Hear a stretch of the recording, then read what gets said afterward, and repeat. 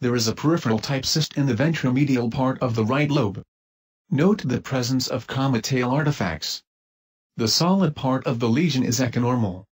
The angle between the solid part and the wall of the cyst is blunt.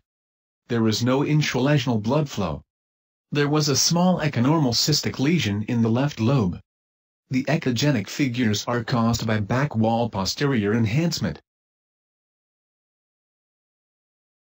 On ultrasound-guided aspiration, the tip of the needle is clearly visible.